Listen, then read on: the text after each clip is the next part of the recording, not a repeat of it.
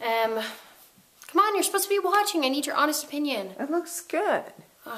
Totally lame.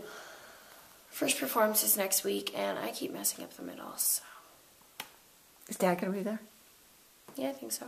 You think he'll sit with Mom? Probably. It'll be for show. You know that, right? Trying to act like they don't hate each other. Mom likes that guy Brett, doesn't she? Oh, yeah, I don't want her to like him. Yeah, me neither.